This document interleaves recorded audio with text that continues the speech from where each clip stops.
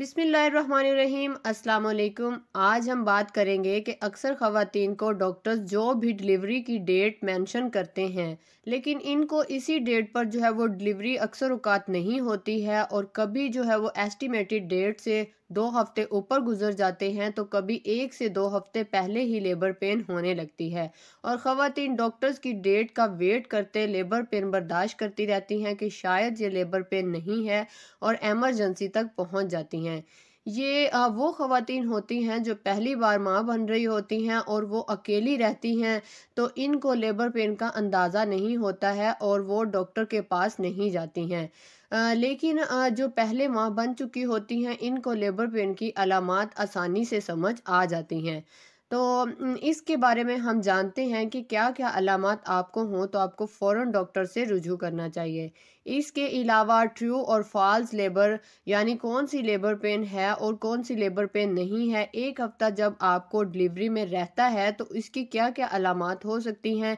जिससे आपको अंदाज़ा हो जाता है कि आपको एक हफ़्ते तक डिलीवरी के लिए लेबर पेन स्टार्ट हो जाएगी। इन टॉपिक्स पर मेरी ऑलरेडी वीडियो मौजूद है, जिसका लिंक आपको डिस्क्रिप्शन की प्लेलिस्ट में मिल जाएगा, आप उन्हें ज़रूर देखें। माँ बनना आसान काम नहीं होता है और नौ माह तक बच्चे को पेट में रखना भी आसान नहीं होता है। पूरे नौ महीने एहतियात की सख्त ज़रूरत होती है, वरना ज़रा सी लापरवाही से माँ और बच्चे दोनों को नुकसान पहुँच सकता है।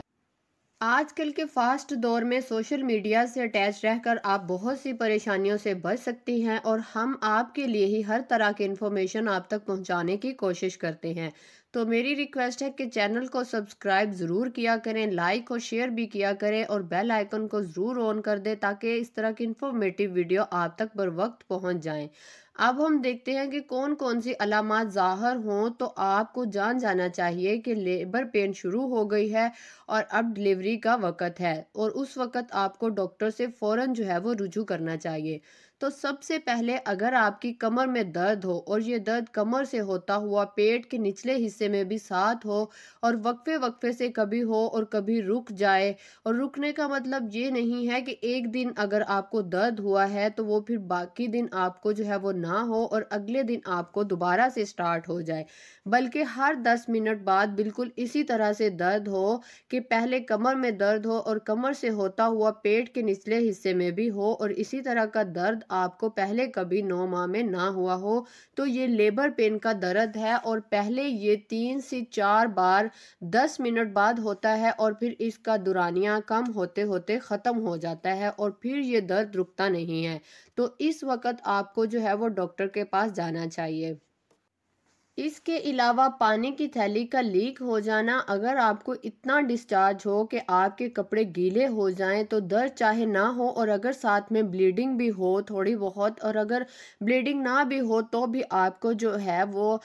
थैली के लीक होने पर आपको फ़ौर डॉक्टर के पास जाना चाहिए और ये डिलीवरी का वक्त होता है। इसके अलावा पेट में बहुत अकड़ाव आ जाए और थोड़ा सा खाना खाने से भी पेट भर जाए, मुँह को आता महसूस हो और अक्सर ख़वान को मतली और उल्टी भी हो जाती है तो इस वक्त भी आपको डॉक्टर से रुजू करना चाहिए, क्योंकि ये डिलीवरी का वक्त होता है। इसके अलावा अगर बच्चे की मूवमेंट बहुत कम हो जाए या फिर बिल्कुल ही मूवमेंट ना हो रही हो तो भी आपको डॉक्टर के पास चले जाना चाहिए। इसके अलावा अगर आपको फील हो कि बच्चा जो है वो ऊपर से नीचे पेल्विक एरिया में मूव कर गया है जो आपको आ, पेट के बाहर से भी देखने से पता चलता है कि ऊपर से पेट जो है वो थोड़ा हल्का हो गया है तो ये भी लेबर का वक्त होता है। इसके अलावा अगर आपको पेचस हो जाएँ जो मसल्स के खुलने की वजह से होते हैं तो ये भी लेबर पेन का वक्त होता है। इसके अलावा थकान बहुत ज़्यादा महसूस हो कूल्हों पर दबाव ज़्यादा हो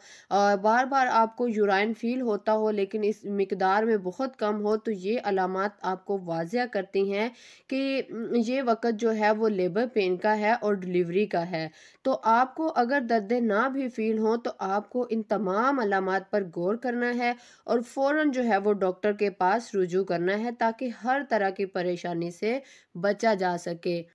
आई होप कि कौन सा वक्त जो है वो डिलीवरी का है, इससे रिलेटेड आपको इन्फॉर्मेशन मिल गई हैं। तो मेरे चैनल को ज़रूर सब्सक्राइब करें लाइक करें शेयर करें। बेल आइकन को ज़रूर ऑन कर दें ताकि इस तरह की इन्फॉर्मेटिव वीडियो आप तक बर वक्त पहुँच सकें। थैंक यू सो मच अल्लाह हाफिज़।